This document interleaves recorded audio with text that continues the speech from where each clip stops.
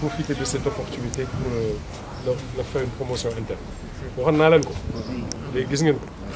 kon c'est bon après ñu wax. Mais c'est bien, et, vous avez dit quelque chose de, de très important, le travail de nuit.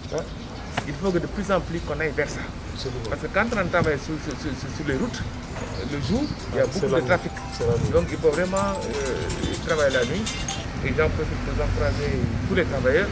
Parce que vous travaillez pour vous, mais vous travaillez aussi pour votre pays.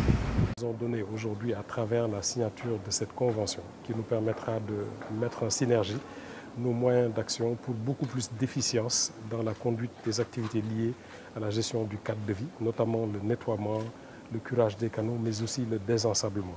C'est une convention importante parce qu'elle nous permettra aussi, nous, au niveau de l'UCG, d'améliorer les conditions de travail des agents qui seront engagés dans cette procédure.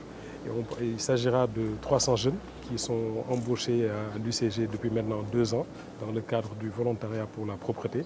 Donc c'est une opportunité pour nous d'améliorer la gestion des ressources humaines et aussi de faire une extension de leurs responsabilités parce qu'ils vont passer de simples agents de propreté à des agents de polymaintenance parce qu'ils vont faire du curage de canaux, du nettoiement classique, mais aussi du désensablement. Donc vraiment, nous remercions le directeur général de la Géroute pour sa clairvoyance et aussi sa capacité à vouloir euh, intégrer un peu cette nouvelle tendance qui se dessine, qui vise à mettre en synergie l'ensemble des services de l'État ayant un objectif commun pour beaucoup plus d'efficacité du service public. Je pense que d'après la compréhension que j'en ai, l'ambition du directeur général de la Géroute est d'avoir une euh, empreinte nationale. D'ailleurs, le contrat ouvre la porte à une collaboration par rapport à la surveillance du réseau routier. Mais il est évident que nous sommes en train de tester, Monsieur le Directeur Général, donc ça va dépendre de la capacité de l'UCG à rendre le service tel qu'il est attendu par la Géroute.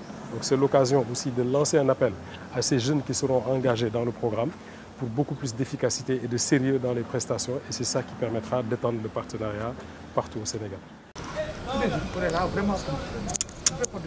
D'accord?